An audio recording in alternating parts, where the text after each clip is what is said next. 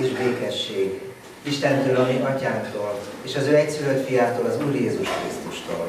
Amen.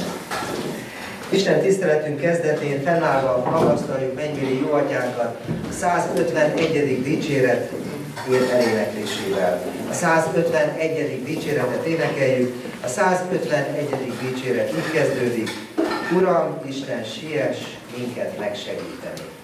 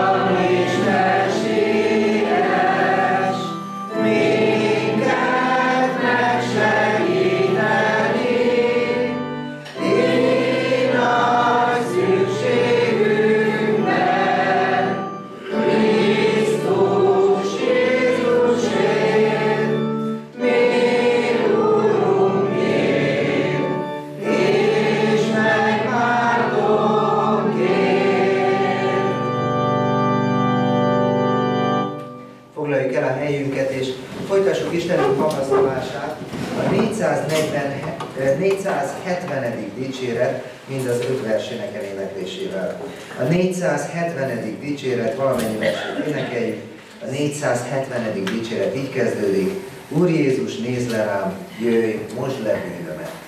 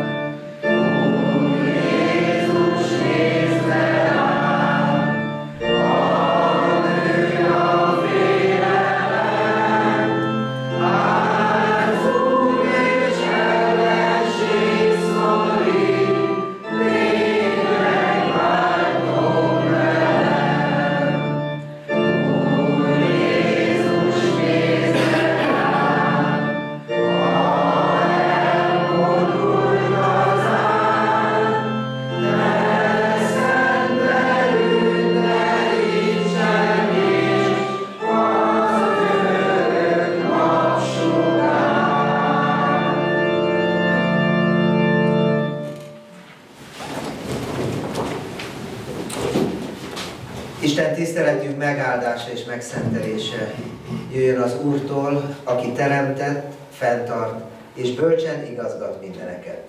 Amen. Hallgassátok meg testvéreim Isten igéjét, úgy, amint írva található János írása szerinti evangélium 20. fejezetében, a 24. verstől a 31. versig terjedő ige szakaszban. János evangéliumának 20. fejezetéből, a 24. verstől kezdve így szól Isten igéje. Tamás pedig egy a tizenkettő közül, akit Ikernek hívtak, nem volt velük, amikor megjelent Jézus. A többi tanítvány így szólt hozzá. Láttuk az Urat. Ő azonban ezt mondta nekik. Ha nem látom a kezén a szegek helyét, és nem érintem meg ujjammal a szegek helyét, és nem teszem a kezemet az oldalára, nem hiszem. Nyolc nap múlva ismét benn voltak a tanítványai, és Tamás is velük, bár az ajtók zárva voltak, bement Jézus. Megállt középen, és ezt mondta, békesség nektek. Azután így szólt Tamáshoz. Nyújtsd ide az ujjadat, és nézd meg a kezeimet. Nyújtsd ide a kezedet, és tedd az oldalamra, és ne légy hitetlen, hanem hívő. Tamás pedig így felelt, én Uram, és én Istenem. Jézus így szólt hozzá, mivel látsz engem, hiszel, boldogok, akik nem látnak és hisznek. Amen.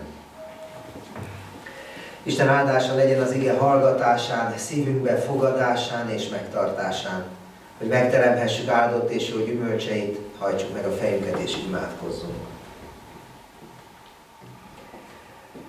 Áldjuk és magasztaljuk Szent Nevedet, mennybéli jó atyánk, amiért ezen a mai reggelen sem feledkeztél el rólunk. Köszönjük neked, Urunk, hogy erőt adtál ahhoz, hogy itt legyünk, hogy segítettél minden gondolatot, minden gátat, akadályt elhárítani, hogy eljöjjünk szent gyülekezetedbe, itt lehessünk, és szent lelked ereje által befogadhassuk igét tanítását. Urunk, áldjuk szent nevedet, amiért Te, Te hozzá tartozhatunk. Oly sok minden terhel bennünket ebben az életben, oly sok próbatételt kell elszenvednünk, oly sok minden változik az életünkben, múlik az idő, öregszünk, egyik nap még betegek vagyunk, egyik nap még egészségesek vagyunk, másik nap már betegek. Egyik nap még öröm és boldogság tölti ki az életünket, másik nap már a keserűség, a szomorúság, a kételkedés. Urunk, Te vagy a mi életünkben az egyetlen állandóság. Te sohasem változol. A Te szereteted és a Te kegyelmed minden nap, életünk minden percében egyformán árad ki ránk, és, és ezért legyen Tiéd dicsőség, menjen és földön most és mindörökké. Kérjük, Urunk, hogy ma is áldj meg bennünket. És a Te állandóságot szilárdítsa meg a hitünket ebben az életben, hogy rád támaszkodhassunk, rád bízhassunk sorsunkat. Kérjük, így áld meg Isten tiszteletünket, az ígére figyelésünket.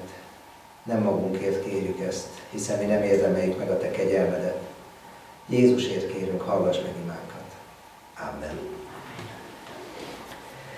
Készüljünk testvéreim az ige hallgatására, szívünkbe fogadására ének szóval. A nyolcadik Zsoltár első versét énekeljük. A nyolcadik Zsoltár első versét. A nyolcadik Zsoltár így kezdődik. Ó, felséges Úr, mi kegyes Istenünk! thank you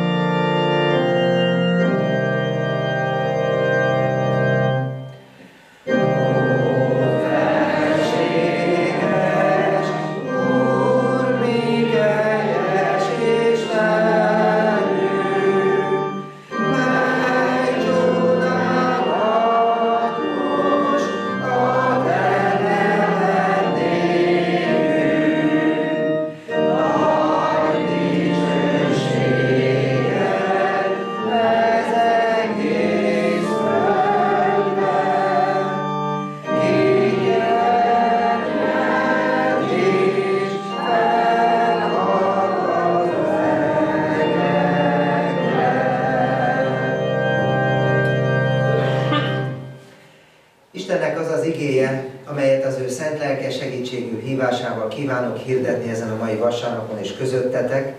Írva található az imént felolvasott ige szakaszban, János írása szerinti evangélium 20. fejezetének 24. versétől a 31. versig terjedő ige szakaszban, melyek közül a 27. verset újraolvasom. Azután így szólt Jézus Tamáshoz, nyújtsd ide az ujjadat, és nézd meg a kezeimet. Nyújtsd ide a kezedet, és tedd az oldalamra és ne légy hitetlen, hanem hívő.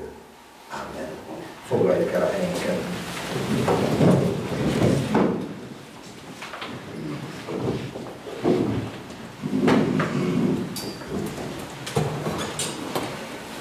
Amikor a magyar vallási költészetről beszélünk, akkor Adi Endre neve megkerülhetetlen. A száz évvel ezelőtt elhunyt költő fejedelem istenes versei, Balasi Bálint istenes verseivel szokták egy napon említeni. Valóban annyi csodálatos költemény kötődik Adihoz, amelyben a hívő ember érzéseit, gondolatait fogalmazza meg. Ugyanakkor azt is látjuk, hogy Adi istenes verseire, vallásos költészetére nem mondható az, hogy nagyon egyenletes lenne. Inkább úgy mondhatnánk, hogy ilyen hullámzó. Saját maga az önéletrajzi eh, írásaiban arról beszél, hogy mennyit változott az ő hite gyermekségétől fogva. Kiskorában kálvinista, tradicionális, református hitben nevelkedett.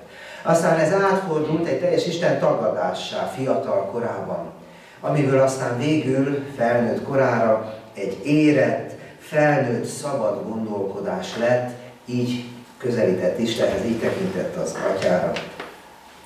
Nem csak az életét hatja át ez a hullámzó Istennel való kapcsolatára, ez a hullámzó jelleg, hanem rövidebb időszakokat is, rövidebb, rövidebb időszakokban is fel lehet ezt fedezni. Csak két példát hagy említsek. 1908-ban írta Adi Endre a csodálatos versét az Úr érkezése, aminek felejthetetlen sora az, amit így fogalmaz, mikor elhagytak, mikor a lelkem roskadozva vittem, csöndesen és váratlanul átölelt az Isten. Ezt szinte minden magyar ember kívülről tudja ezt a sort, ezt a verset. De aztán alig telik el két év, és 1910-ben Párizsban már Hiszek hitetlenül Istenben címmel ír verset, aminek kezdő sora, sorában megfogalmazza az akkori Isten kapcsolatára jellemző érzést. Azt mondja, hiszek hitetlenül Istenben, mert hinni akarok, mert sose volt úgy rászorulva sem élő, sem halott. Távol érzi magát Istentől. 908-ban még egészen közel megérte Isten jelenlétét az életében, 910-ben pedig már nagyon távol él, és tulajdonképpen a hitéről már csak úgy beszél, hogy azért hisz, mert hinni akar.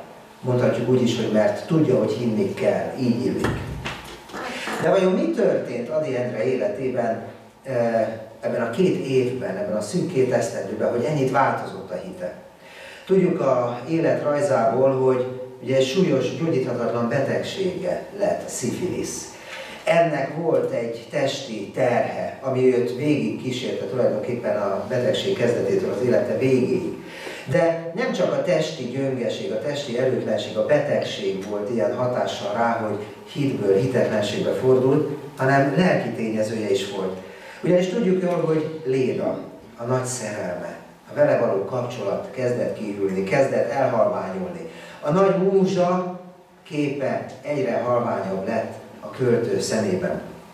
Bizony sok rossz dolog történt tehát a költővel, testi, lelki értelembe veive nagy próbatételeket állt ki, és talán ez lehet az egyik oka, vagy ez lehet az oka annak, hogy úgy fogalmaz 910-ben, hiszek hitetlenül Istenben. Hiszek, mert hinni kell. Azért mondtam mindezt el, mert nem csak Adira jellemző ez a hullámzó hit. Nincs olyan keresztény ember, aki ne élte volna már meg ezt a hullámzást. Ne élte volna már meg a hitnek azt a magasságát, amikor érzi Isten áldó jelenlétét az életében, és minden nagyon jól sikerül, és minden olyan gördülékenyen olajozottan meg, és aztán a következő pillanatban pedig azt érezzük, mintha magunkra maradtunk volna a bajunkkal, a nyomorúságunkkal, a gyászunkkal, a betegségünkkel. Ilyenkor teszünk fel, hol van Isten? Bizony a keresztény ember hitéhez, életéhez, a hit mellett hozzátartozik a hitetlenség is. A hit bizonyosság mellett hozzátartozik a kételkedés is. Csak erről valahogy nem szoktunk beszélni. Valahogy szégyeljük ezt. Még egymás között is. Gyülekezeti közösségben is, sőt még a lelkész előtt is szégyeljük bevallani, hogyha esetleg hitünkben erőtlenné válunk. Pedig ez része az életünknek. És nem csak a mi életünknek része, hanem ez része volt egykor a tanítványok életében is. Nagyon jó példát adnak a tanítványok. Nagypéntek és a Krisztus nélküli állapotban tapasztalt hitetlenségre. Hogy aztán ezt a hitetlenséget hogyan váltja fel a hit. És a mai alapigényben éppen erről kapunk tanítást. Tamás apostol személyén keresztül, akit úgy is szoktunk nevezni, hogy a hitetlen Tamás. Ki más lenne erre predestinálva, mint Tamás, akinek a neve azt jelenti, hogy Iker. Tamás személyében már benne van az a kettőség, amely mindannyiunkat jellemez, a hit és a hitetlenség, a hitbizonyosság és a kételkedés, az Istenhez való közeli lét, és az Istentől való elszakadt állapot fájdalma. Az Iker, a Tamás. Ő példája jelenik meg ma előttünk, és nem csak tükröt tart elénk a mai alapige, rámutatva arra, hogy bizony merjük felvállalni hitetlenségünket, merjük felvállalni erőtlenségünket, mert ez is része az életünknek, hanem az ige arra is rámutat, hogy Isten ettől még szeret bennünket. A mai alapigénk legfontosabb, központi üzenete az, hogy Isten nem hagy el bennünket akkor sem, ha mi távol érezzük magunkat tőle. Isten nem hagy el bennünket akkor sem, amikor mi úgy érezzük, hogy a hitünk olyan erőtlen, hogy semmire sem jó felénk nyújtja kezét. Ahogy a Jézus Tamás felé nyújtotta az ő átszögezett kezét, úgy nyújtja felénk Isten nap mint nap a kezét, hogy megmentsen, hogy megerősítsen, hogy új hitet ébreszten szívünkben. Erről szól a mai alapige. De térjünk az igénkre, az alapigére, annak az elejére, hogy mit is olvastunk benne. Arról van szó, hogy húsvét vasárnap estéjén a tanítványi kör összegyűlt, ezárt ajtók mögött, tizen voltak csak, nem tizenketten. Ugye Judás már nincs közöttük, és Tamás sem volt ott. Tíz tanítványnak megjelent Jézus. Nem tudjuk, hogy Tamás hol volt, miért nem volt velük. Lényeg, hogy nem volt ott.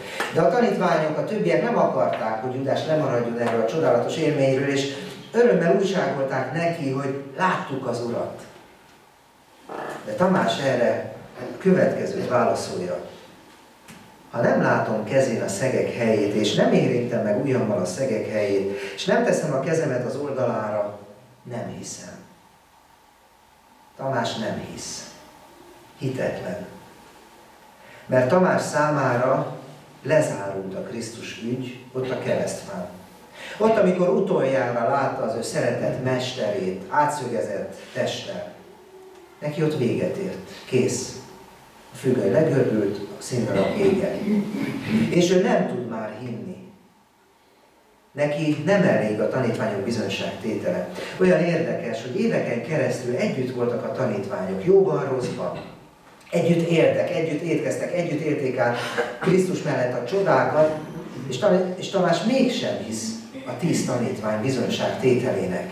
Tíz ember hangsúlyozza, tíz ember mondja, hogy láttuk az Urat, de ő nem. Olyan mély az ő gyásza.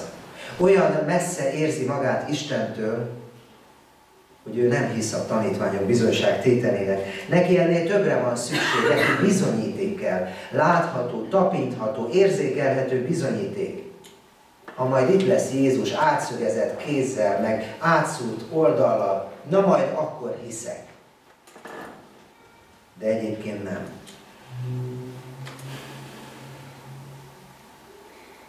Tanítványok közül Tamás gyásza tartotta legtovább, hiszen mivel elzárkózott a többiek bizonyságtétele elől, még nyolc napig hordozta a gyász terhét.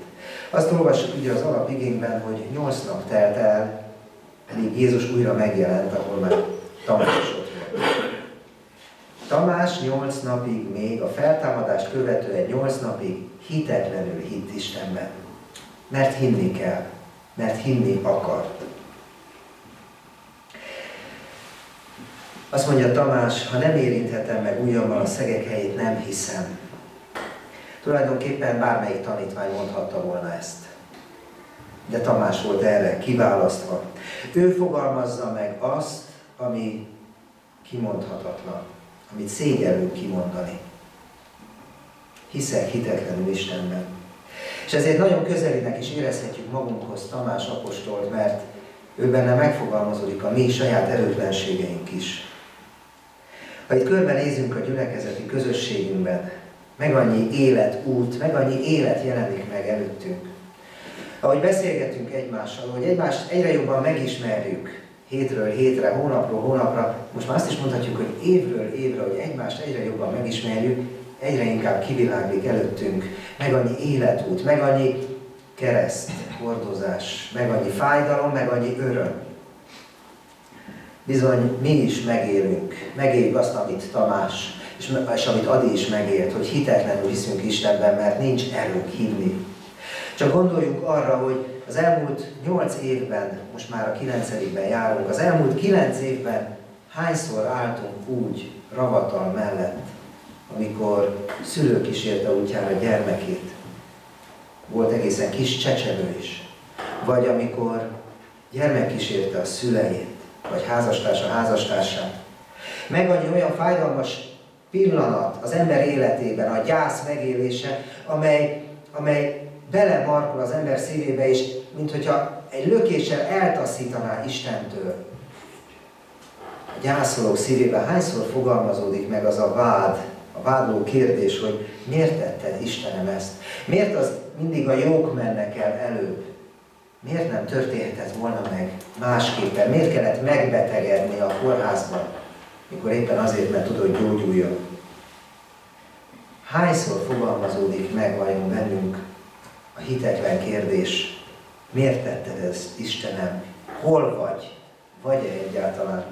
De beszélhetnénk arról is, hogy gyülekezetünkben nem egy olyan család van, ahol a gyermek betegsége keseríti meg a mindennapokat. A kisgyermek, aki nem tehet semmiről, aki az ártatlanság megtestesítője, hordoz magában egy olyan genetikai deformációt, egy olyan betegséget, amely végig kíséri az életét, és ott van az aggódó szülő, aki egy szebb életet szeretett volna a gyermekének, aki örült volna, hogyha a gyermek ugyanúgy tud játszani a játszótéren, mint a többi gyermek, és nem. Mert ágyhoz kötött, mert nem mehet közösségbe, mert nem élhet olyan életet, mint más, nem érhet el olyan célokat, mint a többi ember. Vajon amikor a szülők látják szenvedni a gyermekeiket, hányszor teszik fel magukban a kérdést, hol vagy ilyenkor Istenem? Miért engedett, hogy ez a gyermek szenvedjen? De beszélhetnénk más próbatételekről is. Mert gyülekezetünkben van olyan pár, aki éveken keresztül vágyott arra, hogy legyen gyermeke. Megszámlálhatatlan sok alkalommal próbálkoztak, így, orvosnál, amúgy, nem jött össze. Vajon nem fogalmazódott-e meg az ő szívükben a kételj? Uram, mi szeretjük egymást, te nem szeretsz minket? Hol vagy ilyenkor? Miért nem teszel csodát? Hány imát kell még elmondanunk ahhoz, hogy az életünkben csoda történjen? De mondhatnánk a betegséget is, amely akár romba dönthet egy egész életet, mindazt, amit az ember felépített évtizedeken keresztül, de beszélhetnénk a halál közelségének érzéséről, vagy a mindennapok reménytelennek tűnő küzdelmeiről is. Mind-mind olyan próbatétel az ember életében, amely a hitünket teszi próbára, és amely olyan könnyen erőtlenné tud tenni minket. Olyan könnyen tudunk mi is hitetlenül hinni, ahogyan Adi tette ezt. Vagy olyan könnyen lehetünk mi is Tamásokká, hogy csak akkor hiszek, akkor fog megújulni az én hitem, ha Isten valami olyan csodát tesz, amit el sem tudok képzelni. Nem szoktunk erről beszélni. Szégyeljük, talán. Vagy meg akarunk felelni egyfajta emberi elvárásnak, vagy talán az egyház vélt elvárásának. De az is lehet, hogy különféle vallási tév képzetek vannak a fejünkben, és ezért nem merünk ezekről beszélni, hogy távol vagyunk Istentől. Sokszor inkább fenntartjuk a látszatát, hogy mi milyen erősek vagyunk, milyen közel érezzük magunkat Istenhez. Belül meg közben sír a lelkünk. Pedig beszélhetnénk róla, mert emberek vagyunk. Nem vagyunk jobbak, mint Tamás. Nem vagyunk jobbak, mint Izrael népe az Ószövetségben. Senkinél sem vagyunk jobbak, emberek vagyunk. Olyan emberek, akiknek fáj az, ha elveszítjük szeretünket. Olyan emberek, akik szeretünk küzdeni, szeretünk sikereket elérni, és hogyha az a siker romba dől egyik pillanatról a másikra, az rosszul érint bennünket. Ilyenek vagyunk. És Isten ezt tudja. És Isten csodát tesz a mi életünkben. Mert pontosan a mai alapigény mutat rá arra, hogy Isten ezt nem kéri rajtunk számon.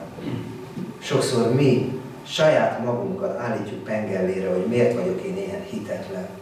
Sokszor mi saját magunkat ostorozunk azért, mert, mert egy könycsepp kicsordul a szemünkre, amikor utolsó útjára kísérjük, és, és nem bírjuk a feltámadás örömérét átélni. Isten nem ilyen. Isten szeret bennünket. Isten nem kéri rajtunk számon a mi hitetlenségünket. És erről olvasunk akkor, amikor nyolc nappal később az alapigényben Jézus újra megjelenik a tanítványi körben, már Tamás is ott van, és odalép középre, és azt mondja Tamásnak, nyújtsd ide az ujjadat, és nézd meg a kezeimet. Nyújtsd ide a kezedet, és tedd az oldalamra, és ne légy hitetlen, hanem hívő. Micsoda szeretet, micsoda kegyelem fogalmazódik meg Jézus szavaiban. Nem kéri számon Tamástól az ő hitetlenségét.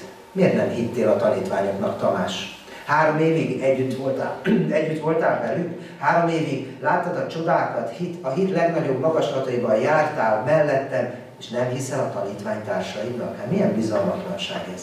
Nem mond ilyet Jézus.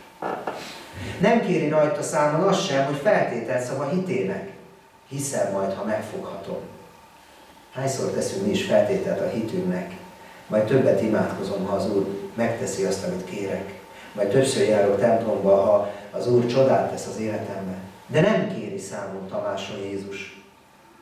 Nem mondja azt, hogy mi az, hogy te feltételeket diktálsz. Hol van az a gyermeki hit, amiről én tanítottam, hogy fogadj el mindent, amit én mondok. Jézus nem teszi ilyet, hanem egyszerűen kinyújtja a kezét. Ha neked arra van szükséged, Tamás, hogy megérintsd az én átszegezett kezemet, ha neked arra van szükséged, hogy lássad az én tesz, átszegezett testemet, akkor itt vagyok. Láss, tapints, és ne légy hitetlen, hanem hívő. Csodálatos az ige üzenete, testvéreim. Ingyen kegyelemből, szeretetből az Úr jelen van az életünkben, megerősít az erőtlenségeinkben.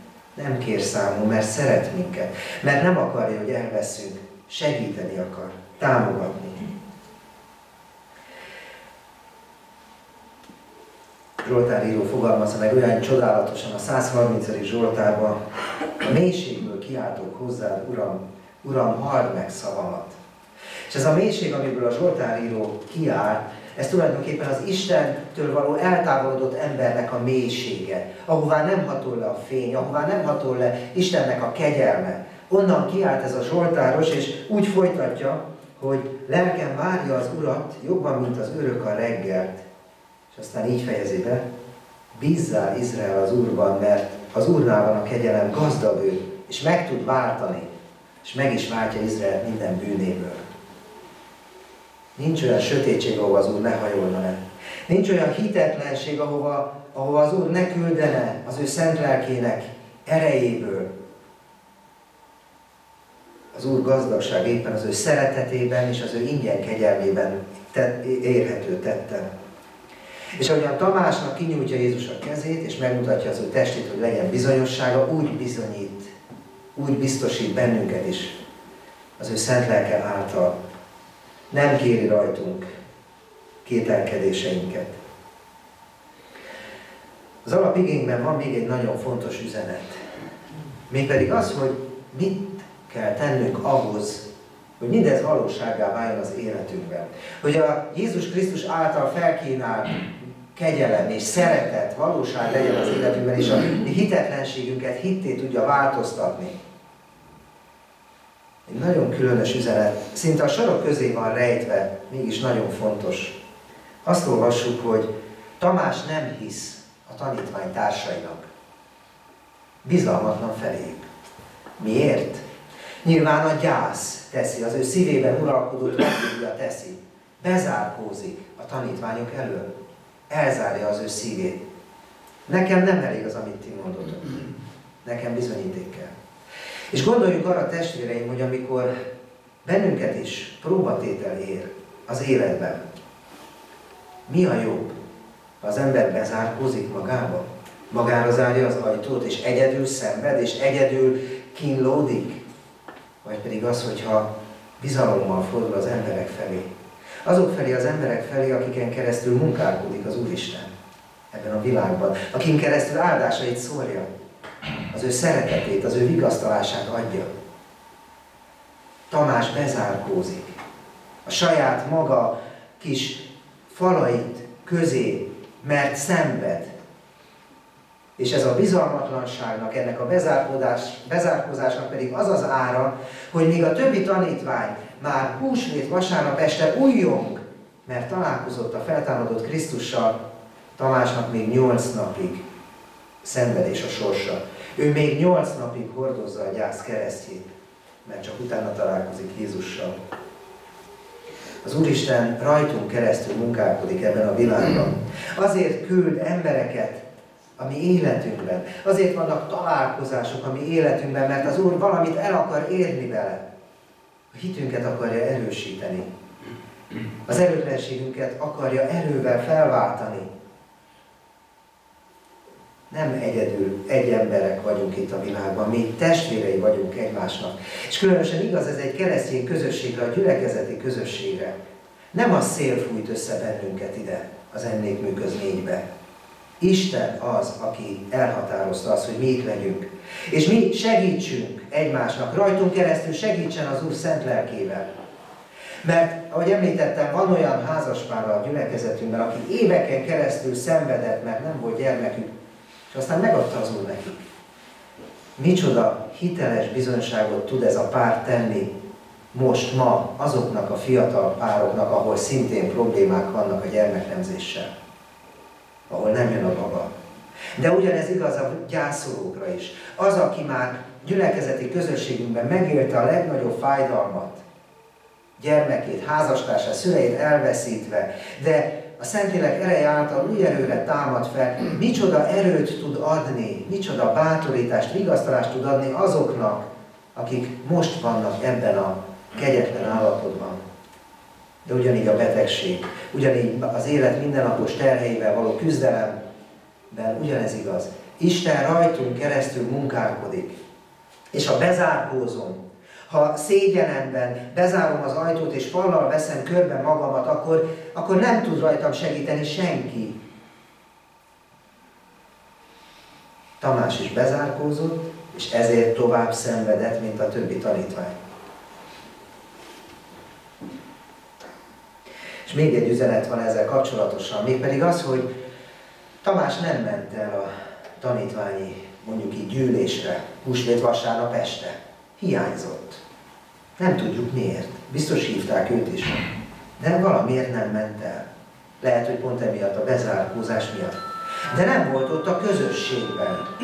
És pontosan ez a lényeg, hogy egy, Isten egy olyan közösséggel áll meg bennünket, egy olyan közösséggel ajándékoz meg bennünket, amely közösség újra és újra megerősíthet bennünket. És itt most a közösségi alkalmakra is gondolhatunk. Az Isten tiszteletre, a bibliaórákra, az egyéb alkalmakra, ahol egymás mellé ülünk, idézőjelbe véletlenül. És, az, és egyszer csak azt veszük észre, hogy a mellettünk ülő, akivel lehet, hogy nem is beszélgettem az elmúlt években, olyan dolgokról kezd el beszélni a saját életével kapcsolatban, ami engem is érint, és ami nekem is utat tud mutatni. És éppen ezért, amikor valaki elzárkózik Isten egyháza elől, elzárkózik a gyülekezeti közösséggel, azt mondja, hogy én hiszek otthon majd magamban, a magam módján. Az pontosan ezeket az áldásokat, ezeket az ajándékokat, ezeket a lehetőségeket zárja ki az életéből. Az is az Úrhoz tartozik, de hogy a Tamásnak, úgy neki is tovább fog tartani a szenvedése. Az Úr ajándéka az egyház, a gyülekezet amiért nem szünhetünk meg elégszer hálát adni. Éljünk azzal a lehetőséggel, amit Isten ad nekünk az ő egyházában. Éljünk az Isten tisztelet, a bibliaórák, a különböző alkalmak lehetőségével, mert ezek mind-mind azt szolgálják, hogy az Úr munkálkodjon közöttünk. Hogy a mi hitetlenségünket hitté változtassa, hogy a mi kételjeinket feloldja, és hitbizonyosság legyen belőle. Még egy záró gondolat, azt mondja Adi, hiszek hitetlenül Istenben, mert hinni akarok. Sokan úgy jönnek a gyülekezetünkbe, hogy megoldást akarnak találni a problémáikra, házassági krízisükre, munkahelyi problémáikra, egyéb feszültségekre. Egy szóval egy választ kérnek Istentől. De nem azért jönnek ide, hogy az Úr átformálja őket. Sokkal inkább imádkozik egy házassági krízisbe egy ilyen ember, mondjuk a házastársának a megváltozásáért, mint a saját maga lelkének a megváltozásáért.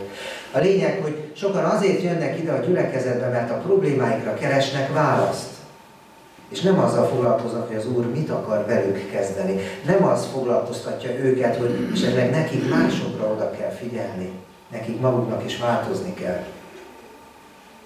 Az ilyen keresőkre is azt mondhatjuk, amit Adi mond, hogy ők is hitetlenül hisznek Istenben, mert akarnak hinni, mert akarnak megoldást a problémáikra. Nekünk nem az a dolgunk, hogy ítélkezzünk egymás felett. Pont az mai igen mutat rá arra, hogy nem is szabad. Mert Isten kegyelme és szeretete mindenkire egyformán kiárad. Azokra is, akik hitetlenül hisznek Istenben. Akik csak az önző vágyaik kielégítésére közelednek az Úr felé, akik csak a saját problémáikra keresnek megoldást Isten egyházában. Jézus nem kéri számon tőlünk a mi hitetlenségünket. Nem kéri számon ami azt, amikor feltételt szabunk. Egyszerűen azt mondja, ha neked ez kell, megadom.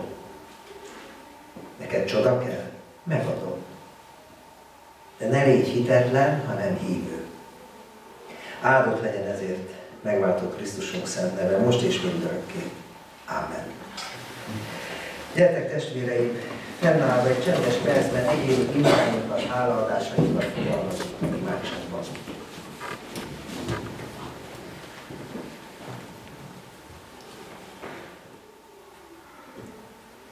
Áldjuk és magasztaljuk Szent nevedet, megváltó Úrunk, ma is szóltál hozzánk igéden keresztül.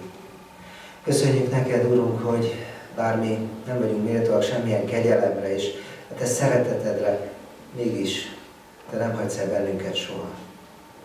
Urunk, mi is hitetlenül hiszünk sokszor benned. Sokszor érezzük azt, hogy üres a mi imáink, üresek. Nincs erőnk ahhoz, hogy felét forduljunk, hogy csak a saját magunk gondjaival, bajaival vagyunk elfoglalva, és, és nem azt nézzük, hogy mi a te akaratod, mi a te szándékod. Bocsáss meg, Urunk, a mi hitetlenségünket. Bocsáss meg, Urunk, amikor, amikor kételkedünk abban, hogy Te egyáltalán jelen vagy az életünkben. Köszönjük, hogy csodákat teszel a mi életünkben. Mert nem csak a keserűség, nem csak az erőtlenség van jelen, hanem a csoda is, és az erő is. És köszönjük, Urunk, neked azt, hogy itt a gyülekezeti közösségben megtapasztalhatjuk mind a kettőt. És amikor mi erőtlenek vagyunk, akkor az erős Úr áll mellénk, akit Te küldesz, akin keresztül Te vigasztalsz, Te bátorítasz, Te segítesz a döntésben. Köszönjük, Urunk, neked ezt a közösséget, a Te egyházadat, a gyülekezetedet. Köszönjük, hogy Te munkálkodsz közöttünk, szent lelked erejében. Segíts, Urunk, hogy bízzunk egymásban, hogy valódi testvérként tekintsünk egymásra, és semmilyen egyéni bizalmatlanság, vagy, vagy bármi ne gátolhasson bennünket abban, hogy megéljük a szeretet közösséget és a te áldó jelenlétedet. Rombolj le, Urunk, minden falat. Te nyitottál szíveinket egymás előtt. Segíts őszinte vallomást tenni egymásnak, hogy, hogy tudjunk segíteni, hogy tudjunk erőt adni lelked által. Hálát adunk, Urunk, neked minden gyógyulásért. És hálát adunk azért is, hogy amikor valaki gyógyíthatatlan betegséget hordoz, és mégis hittel el tudja hordozni. Hálát adunk neked, Urunk, minden vigasztalásért, minden útmutatásért, minden tanácsért, minden sikerért. És hálát adunk neked, Urunk, hogy mi úgy lehetünk itt egy család, hogy egymásnak segíthetünk. Megérhetjük a te szeretetedet. Imádkozunk gyermekeinkért és unokáinkért is, akik mellett nem tudunk mindig ott lenni, Vigyázz rájuk, Urunk. És hogyha ők is tékozó fiúként eltávolodnának tőled, a te egyházatól, Urunk, ne vedd le a tekintetedet róluk, hanem vezesd vissza őket. Újítsd meg bennük a hitet, hogy ne legyenek hitetlenek, hanem hívők és, és neked tetsző életet élhessenek. És ugyanígy imádkozunk a felnövekvő nemzedékekért, magyar nemzetünkért, újítsd meg bennünk a hitet, ne legyünk hitetlenek, hanem hívők. Köszönjük, Urunk, szeretetedet és kegyelmedet, amelyen minden nap átölesz, amelyen minden nap jelen vagy az életünkben. Áldott legyen szent neved. Amen. De ti azért így imádkozzatok. Mi atyánk, aki a mennyekben vagy, szenteltessék meg a te neved. Jöjjön el a te országod, legyen meg a te akaratod, amint a mennyben, úgy a földön is. Minden napi kenyerünket add nekünk ma, és bocsáss meg védkeinket, miképpen mi is megbocsátunk az ellenünk védkezőknek. És ne védj minket kísértésbe, de szabadíts meg a gonosztól, mert Téged az ország, a hatalom és a dicsőség mindörökké. Amen. Isten tiszteletünk részeként, Isten iránti hálán kifejezésének egyik eszközeként hirdetem az adakozást, az ige szavával. Gyűjtsetek felajánlást magatok között az Úrnak, mindenki, akit arra indít a szíve, hozzon adományokat az Úrnak. Amen. Foglaljuk el a helyünket, és hallgassuk meg a hirdetéseket. Mindenek előtt gyülekezetünk nevében szeretném köszönteni a születésnaposainkat is, így szeretném mindenek előtt köszönteni feleségemet, Brigitát, Isten értesen Brigit, sokáig adjon sok örömet és áldást az életedben. És ugyanilyen szeretettel köszöntöm gyülekezetünk tagjait is, akik szintén ünneplik születésnapjukat, Bacsó Ferenc presbiter testvérünket, Isten értessen, Feri bátyám egészségben, szeretetben sokáig, Ecser Lászlónét is köszöntöm szeretettel, Isten áldja születésnapja alkalmából, Trifán Lajosnét, Gongor Rékát és Deák testvéreinket, és az Úr áldása legyen mindenünk életén. Hirdetem a testvéreknek, hogy jövő héten szombaton, május 18-án Debrecenbe utazunk egy napra, a Református eh, Egyház eh, fesztiválja lesz, még lehet jelentkezni erre az útra, reggel megyünk, délután jövünk, nálam kellene jelentkezni, mert így osztjuk szét a, a, a jelentkezőket az autókba, autóval fogunk közlekedni. Hirdetem a következő hirdetés, igen, ez a Kárpát-Tajai buszos kirándulásunk, körvonalazódott most már minden a buszos kirándulásunkkal kapcsolatosan. Július 18-ától 21-ig fogunk Kárpátaljára menni, ez csütörtöktől vasárnapig, négy nap, három éjszaka. Készítettem egy szórólapot, jelentkezési lappal egy bekötve, a kiáratnál fogom majd osztani, akit érdekel, csak kedvcsinálónak, kedvcsinálónak hagy olvassak föl benne, hogy mégis miket tervezünk, hova fogunk menni. Első nap megyünk Munkácsra, református templomot, megnézzük a Rákóczi kastélyt, Fekete-hegyi Kolostor városházát, aztán elmegyünk Szojvára, ahol a Gulágra kitelepített kárpátaljai magyarok emlékhelye van, Utána megyünk Zápszonyba, abba a református gyülekezetbe, akiknek évek óta gyűjtjük karácsonykor az adományokat, most meglátogatjuk őket. Második nap Vereckei hágóra megyünk, ugye a honfoglalás centenáriumi emlékművét lát, nézzük meg, ahol szeretnénk egy szabadtéri áhítatot és pikniket is tartani. Utána Beregszászra megyünk, ahol terveink szerint találkoznánk Zán Sándor püspök úrral, Kárpátai püspök úrral, illetve megnéznénk a város nevezetességeit. Harmadik nap Husztra készülünk, eh, ahol ugye szintén erőtemplom, a Huszti vár, várat nézzük meg, eh, aztán Técsőre megyünk, ahol gyönyörű festett kazettás templomot eh, látogatunk meg, utána pedig Viskre, ahol szintén van egy festett mennyezetű templom, egy 1270-es, 70-ben épült gyönyörű templom, illetve ott egy ilyen turisztikai régiót is találunk majd. Negyedik nap, az utolsó nap délelőttjén Csetfalván egy régi 18. századi, nem, még az előtti 14. 11. századi templom, festetkazetes templomban mennénk Isten tiszteletre, tehát ez vasárnap negyedik nap, Csetfalva, és az Isten tisztelet után indulnánk haza. Az Úr kegyelméből pályáztunk a Rákóczi Szövetségnél, és sikerült nyernünk a pályázaton, ami azt jelenti, hogy ha egy 40 fős buszt meg tudunk tölteni, akkor 200 ezer forint támogatást kapunk. Tessék? 250 ezer forint támogatást kapunk az úti költségre. Ez azt jelenti, hogy tulajdonképpen a teljes úti költségünket pályázati pénzből tudjuk fedezni. A szállás költség az a három éjszakára ilyen 16 ezer és 22 ezer forint között van. Ez, ez félpanziót jelent, tehát reggelit és vacsorát kapunk. Illetve a, a tehát magyarul csak a szállás költséggel kell számolni, ez a 16-22 ezer forint környéke per fő, illetve egyéb kiadások, esetleg ajándékvásárlás, költőpénzekre, belépőhely, bár olyan sok helyen nem kell, nem, nem kell sok helyen belépőt fizetni. Tehát magyarul egy körülbelül egy 30-40 ezer forintból is már ki lehet, 30 ezer forintból is már szerintem ki lehet jönni.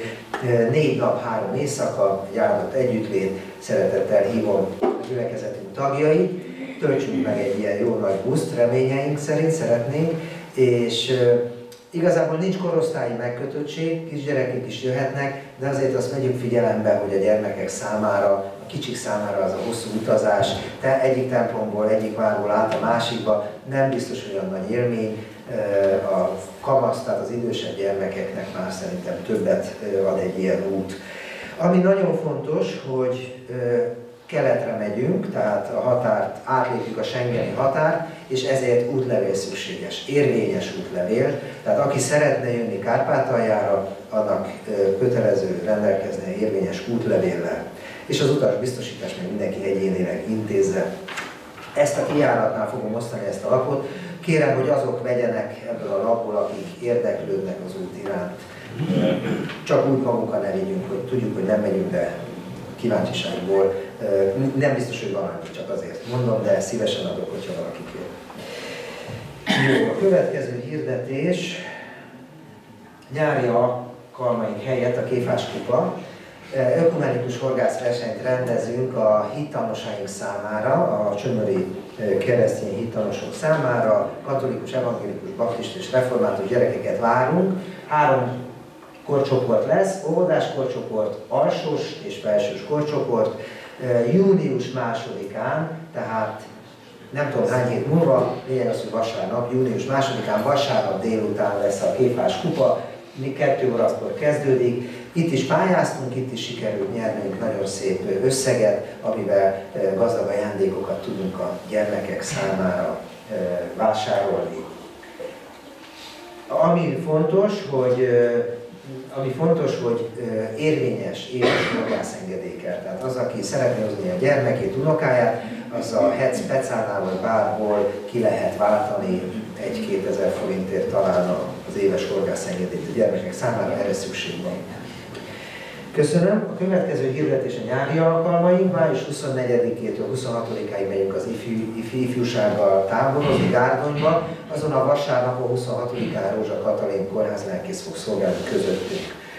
A kazettás útról beszéltem, ott a dátum még 15-e, de 18-ától 21-ig lesz az út. Az apafia kerültúra pedig augusztus 4-től 7-ig lesz, a Bodrógra tervezzük menni.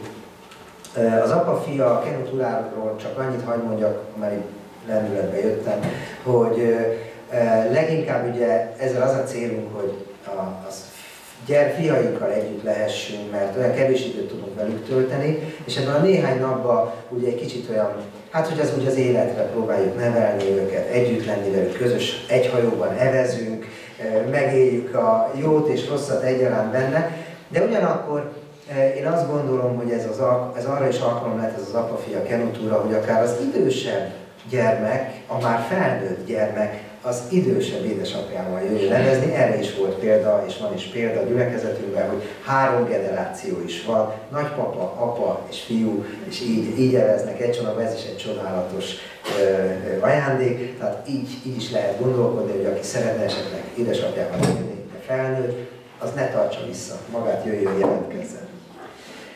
Hirdetem a testvéreknek a, igen, az 1%-ot, az 1% felajánlását, református egyházi technikai száma 0066.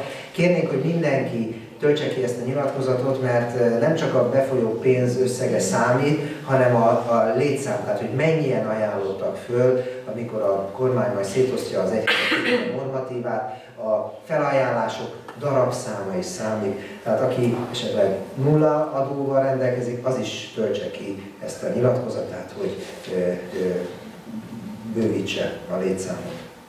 Következő hirdetésünk a templomunk belső berendezési tárgyaira gyűjtenénk a, az adományokat, köszönjük az eddigi felajánlásokat, kérjük a testvéreket, hogy ebben is legyenek e, segítségül nekünk, e, sok mindent kell majd vásároljunk, beszerezzünk a templomba. Itt maga ez az épület, és amikor birtokba vettük, hát annyi kiadás, egyéb ilyen kis apróság van, most csak annyit mondok, hogy törőköző tartótól kezdve, vagy a tányérok, vagy poharak, tehát hogy sok minden van, és mivel szeretnénk egy egységes egységes képet adni a gyülekezeti életünknek is, ilyen téren is, ezért inkább egybe vásároljuk meg, mint az, hogy inkább összehordjuk, és tehát, hogy inkább, inkább pénzt kérünk adománygyűjtésre, hívjuk a testvéreket, mint hogy mindenki hozzon otthonról valami egyéb használt dolgot. A következő hirdetés a szeretett vendégség szolgálat. Köszönöm az eddigi szolgálatokat. Lehet jelentkezni szeretett vendégség szolgálatra ugye az Isten tiszteletek után. Ez is egy nagyszerű alkalom van, hogy egymást jobban megismerjük, és lehet, hogy pont egy ilyen szeretett vendégségen beszélgetek valaki olyannal, akivel még nem beszélgettem, és esetleg tudok neki segíteni, erőt adni, vagy éppen ő tud engem bátorítani, bíztatni. A mai napon Elzeszer Klaudia és Farkas Attila testvéreink szolgálnak közöttünk, ezt köszönjük nektek.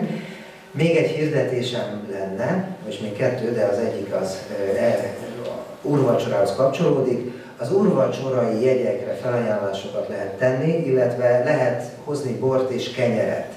Ez évek óta kezdetektől így van, hogy a gyülekezet tagjai hozzák a kenyeret és a bort, mindig más és más. Sokáig nem hirdettük ezt, most azért hirdetem, mert az, szeretnénk bővíteni a kört, és szeretnénk mindenkinek lehetővé tenni, aki esetleg még nem is hallott erről a lehetőségről, hogy lehet felajánlani tehát bort és kenyeret, ami azt jelenti, hogy hozok bort, és otthon szépen fölvágom hosszú dudakra az úrvacsorai kenyeret, tehát ilyen felajánlásokat lehet tenni. Bacsó Ferenc testvérünknél kérlek Feri bátyámra megtenni, hogy felállsz. Bacsó Feri bátyánk az, aki kezeli az úrvacsorai jegyeket, nála lehet jelentkezni. Feri bátyánk megmondja, hogy mely úrvacsorai alkalmak szabadok még, mire lehet felajánlást tenni. Köszönöm. És akkor most érkeztünk a vég, utolsó, hát nem is hirdetés, hanem örömteli alkalom, mert ismét házassági évfordulót ünneplünk. És ennek a különlegességét az adja, hogy most nem 50 éves aranylakodalmat ünnepelünk, és ennek az alkalmából kérjük Isten áldását a ifjú párra, hanem, hanem 10 éves házassági évfordulót. És én azért is örülök ennek, hogy Klaudiáik megkértek erre, hogy közvetítsem életükre áldását, mert mert valóban nem kell megvárni a 25. házassági évfordulót, vagy az 50 Isten áldását kérhetjük az életünkre bármikor, és megerősíthet, kérhetjük az erősítését az Úrnak. Kérnélek benneteket, Claudia és Attila, hogy álljatok ide fel, ide elénk, fogjuk énekelni a 134 és fogadjátok Isten áldását, egy áldó imádság szavai keresztül, Áld meg, Uram, Klaudiát és Attillát, akik a házasság szent, szerelmes szövetségében élnek. Áld meg áldozatvállalásaikat, áld meg testüket, lelküket, szándékaikat, hogy egymáshoz feltétel nélkül ragaszkodjanak. Tedd erőssé a kezüket, amelyel egymás kezét fogják. Tedd gyöngéddé a szívüket, amelyben egymást hordozzák. Tedd egyenessé a gondolataikat és tetteiket, amelyekkel egymást gyarapítják. Tedd házas életüket példává a felnövekvő nemzedékek számára. Vezesd őket, Uram, hogy mindig az általad kijelölt úton járjanak.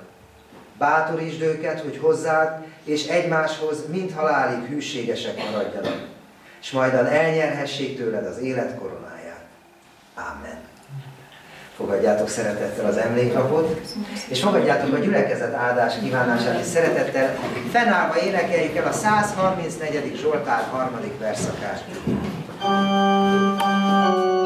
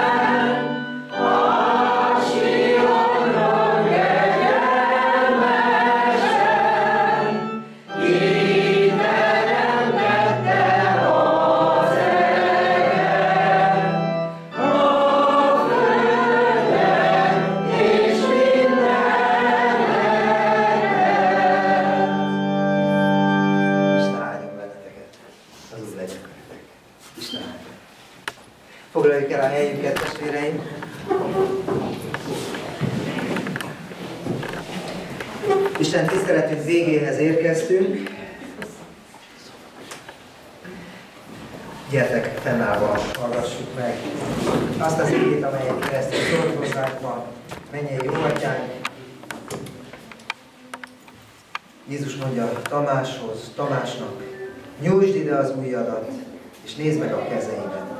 Nyújtsd ide a kezedet, és tedd az oldalamra, és ne légy hitetlen, hanem hívő. Istennek népe, áldjon meg téged az Úr, és őrizzen meg téged. Ragyogtassa rád orcáját az Úr, és könyörüljön rajta. Fordítsa feléd orcáját az Úr, és adjon néked békességet. Amen. Foglaljuk el a helyünket, testvéreim, és záró énekünket énekeljük. A 479-es számú dicséret mind a négy verszakát, a 479-es számú dicséret mind a négy verszakát, az első verszak így kezdődik. Hinni taníts, Uram, kérni taníts. thank